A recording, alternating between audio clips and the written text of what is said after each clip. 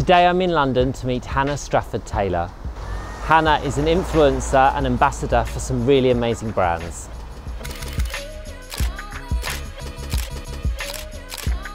George is coming over to do my hair today, which is amazing because he's obviously always booked up. You can never get an appointment with George. I love the whole George Northwood kind of ethos. He always does that cool girl kind of effortless hair that I love. I've noticed she wears her hair up a lot and I really can't wait to get beneath that and find out why and see what we can do today to get her to wear her hair down. Like most people, I'm also quite nosy and I'm quite keen to have a little snoop around her place. It's amazing. I love it. Show me more. Okay, so there's like clothes scattered everywhere, Everywhere. In, in cupboards around the place. Chanel, this is fabulous. Oh, look at this with your initials. Wow, Manolos. I mean, this is like a work of art, isn't it? And do you wear them a lot? No. I understand they're like collector's pieces, aren't Yes, that's what I like to tell myself and my husband. And these are fabulous. Love. This is the renowned Hannah Strafford Taylor wardrobe.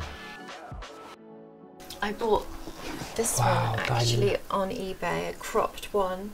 So I guess you could wear this with like jeans and vests like you've got, or you could wear it with like black trousers and kind of make it a bit more yeah. formal. Oh my god, there's just so much here. Tell me, which is your sort of favourite outfit or outfit that you've kind of would say has been the biggest statement? This did very well on my Instagram. Cozy like fabrics.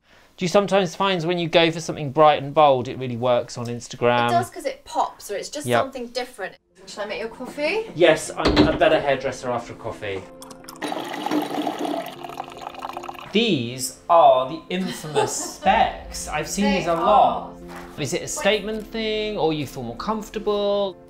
I had a head injury seven or eight years ago. I suffer from like chronic vertigo all the time, so I always have vertigo and lights set it off.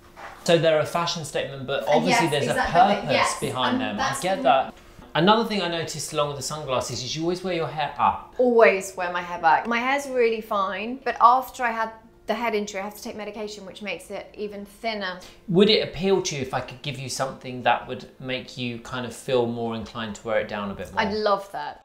So I'm going to take a good inch off, Yes. blunten it up so you've got a really sharp edge. Yeah, so I'm going to give you some really lovely shape, which is going to frame the face. And I'm also going to tong it in my sort of signature way of tonging it, which I think you'll really love.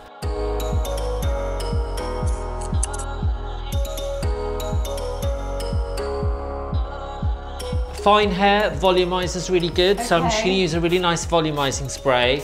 Get in at the root. Your best friend should be volumizing spray.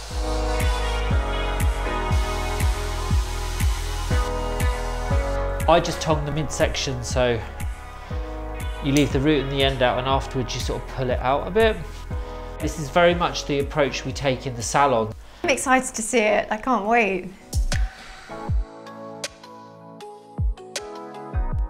Here we go. Oh my gosh! Wow.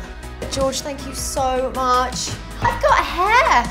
And now, when you tie it up, you can do like a loose trouserly. Look how cute those bits around the face look on you. She represents a lot of women that think their hair's too fine, they can't do much with, and so they just end up growing it to this point where it's just hanging there and they don't think they can have a style. And I was really happy to be able to give her that today. Hey, Lindsay! Oh God, the moment of truth. What do you think? You want your hair done, don't you? it feels so thick. It's like literally a transformation. I'm obsessed. I could see in her body language, she was like feeling it. For me, what makes it worthwhile is I can detect that shift in a person about how their, their confidence soars. I could tell that she just felt so good. Days like today, when sometimes it's only a small change, but you see a big difference, not only in the way they look, but the way that people feel, it makes my job completely worthwhile.